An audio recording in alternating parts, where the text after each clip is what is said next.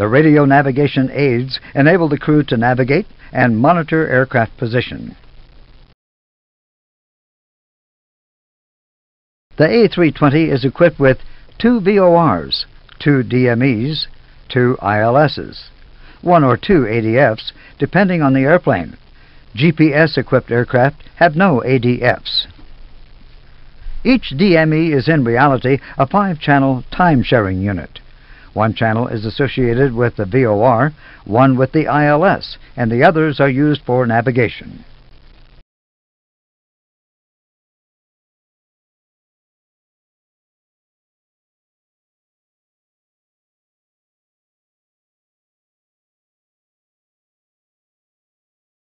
The FMGC can automatically tune the VOR, DME, and ILS for position updating and display purposes. Note that the ADF cannot be auto-tuned and is not used for navigation by the FMGC.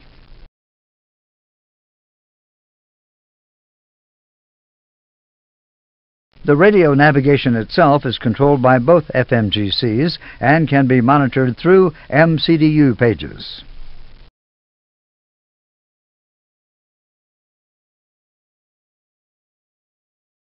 Either MCDU, via the radio navigation page, enables the crew to manually tune a specific nav aid, including the ADF. FMGC auto-tuning continues, normally in the background.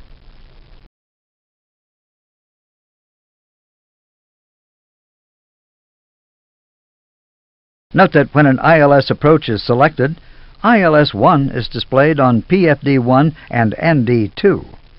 ILS2 is displayed on PFD2 and ND1. As you have seen in the EFIS chapter, the mode selector enables the pilot to select different ND modes to display flight plan and NavAids data. Plan mode is recommended when entering and checking the flight plan. However, NavAid data cannot be displayed in this mode.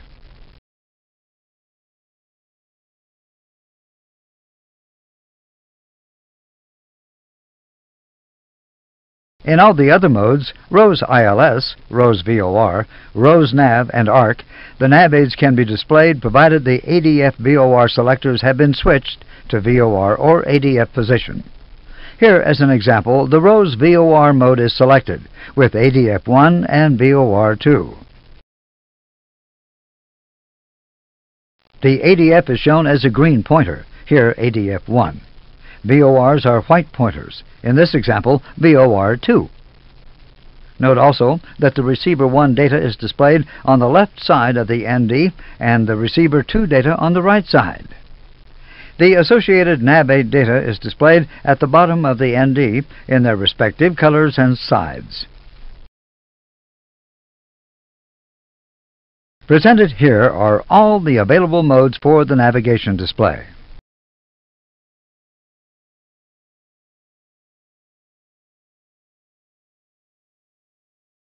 In the unlikely event of a double FMGC failure, the backup tuning mode provides radio navigation redundancy to the crew. The backup tuning mode is accessed via the Radio Management Panels, RMP. For nav aid tuning, RMP1 standby nav keys are associated with VOR DME1 and ADF1, while RMP2 keys are associated with VOR DME2 and ADF2.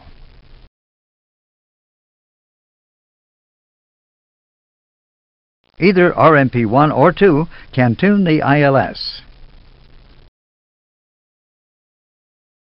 To access the backup tuning mode, the nav key has to be pressed.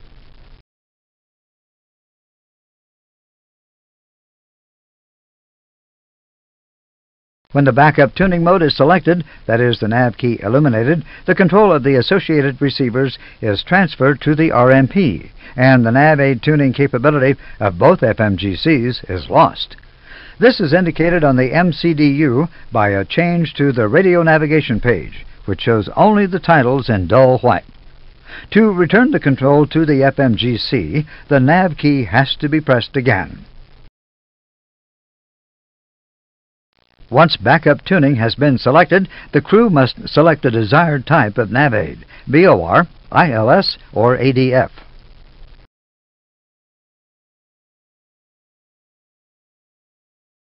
The DDRMI is on the main instrument panel. The DDRMI, Digital Distance and Radiomagnetic Indicator, displays raw data from ADF, VOR, and DME sources, and presents a traditional radiomagnetic indicator and bearing pointer presentation. Two bearing pointers are provided, each readily identifiable by its shape, with its radio source. Each can display either VOR or ADF information, depending on selector position. Each pointer has an associated control knob. The left knob selects either VOR1 or ADF1. The right knob selects VOR2 or ADF2, if installed. Here, VOR1 and VOR2 are selected.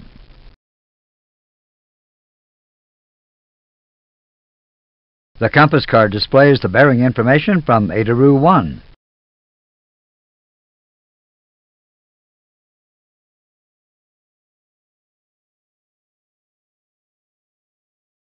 VOR1 pointer and data are shown on the navigation display. Display VOR2 data.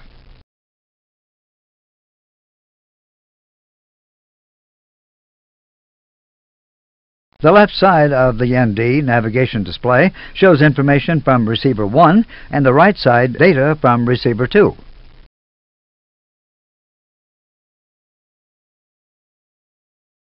Note the symbol next to the VOR title. It is a reduced scale representation of the number 1 VOR single needle pointer. Since the VOR data and the pointer is displayed, both receivers consider the VOR signal as valid. On the second line, the VOR identifier appears. On the third line, the DME distance appears in green. To see the nav aids automatically tuned by the FMGC, we have to call the RadNav radio navigation page. Call the RadNav page.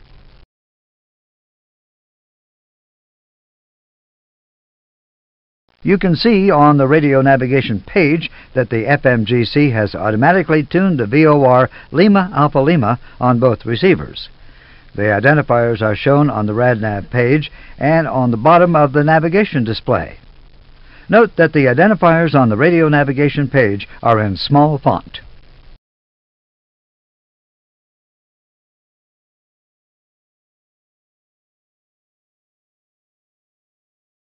Now we will manually tune VOR number 2.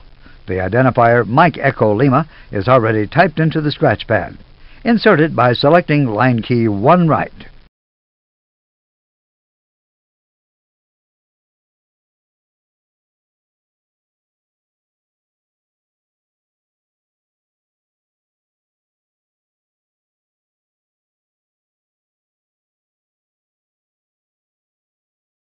The VOR identifier on the MCDU is in large font, indicating a manual selection.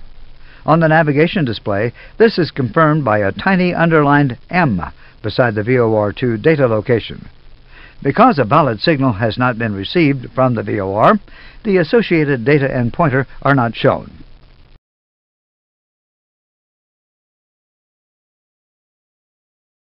The number 2 radio is now receiving a valid signal from the VOR. The associated pointer and data are displayed on the navigation display along with the M, again indicating that the VOR has been manually tuned. Since the VOR is not equipped with the DME, the DME indication is replaced by green dashes. Now select the ILS switch on the EFIS control panel. On the PFD, you can check the ILS identifier India Charlie Romeo Romeo and the frequency and the course. The course is also indicated on the navigation display. The check and the selection of the nav aids is now complete.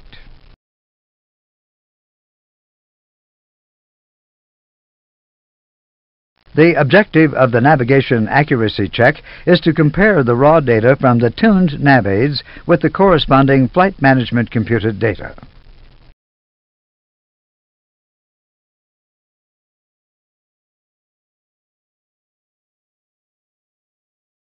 This check also has to be performed whenever the following cases occur. The progress page displays low accuracy. NAV accuracy downgrade message appears on the MCDU and on the ND prior to beginning a descent.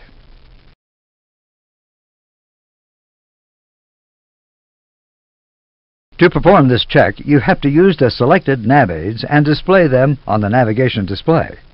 We have set the ND range to 80. The VOR Sierra Papa Romeo has been manually tuned on receiver 1 and the VOR Papa Alpha Sierra on receiver 2. Note that the VOR Papa Alpha Sierra is the next TO waypoint on the flight plan.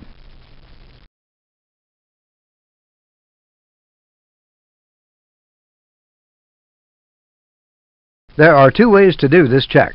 The first method is to compare the TO waypoint distance, which is flight management computed data, with the corresponding NAV and DME distance.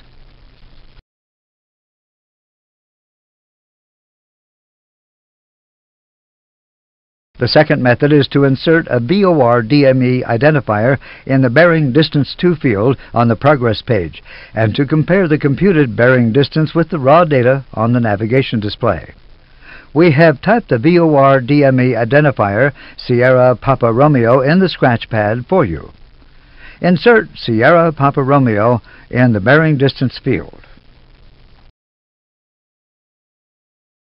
The progress page now displays the computed bearing and distance to the selected nav aid. The distances shown on the navigation display and on the progress page can be compared.